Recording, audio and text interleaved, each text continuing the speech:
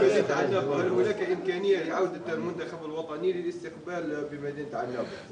أشكرك على هذا السؤال لأن القرار اللي خذاه السيد بالماضي وهو آه، العودة تاع الفريق الوطني إلى ملعب تشاكير ولهذا إحنا بدينا في آه، يعني آه، وضع كل الوسائل إن شاء الله والامكانيات باش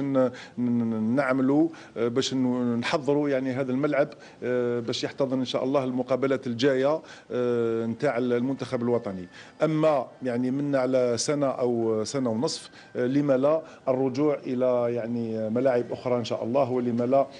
ملعب ملعب عنابه أما بالنسبة للوقت الحالي الوقت الحالي الملعب يعني اللي اختاروا السيد السيد الماضي هو ملعب تشاكير.